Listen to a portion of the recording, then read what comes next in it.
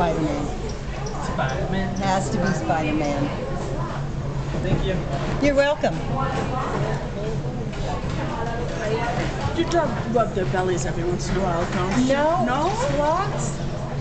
They don't. They don't get the same kind of enjoyment as say cats or dogs do when you rub them. Oh. Our need is to pet Oh. Right, them. right, yeah, the belly looks like it But we to be- never mess with their bellies, heads, or necks. Okay. Because it makes them very anxious, probably because that's where a predator would grab them. Okay. Oh, that makes sense. So we don't mess with their with their heads unless we oh, absolutely Yeah. have.